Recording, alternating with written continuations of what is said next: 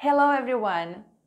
Para acrescentar ênfase e dar força à nossa opinião, podemos usar advérbios e dar motivos.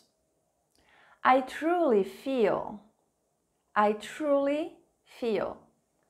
I truly feel that we can only achieve our true human potential if we have harmony between head and heart because in my honest opinion, in my honest opinion, in my honest opinion, I believe that I got a lot more than I truly deserve because.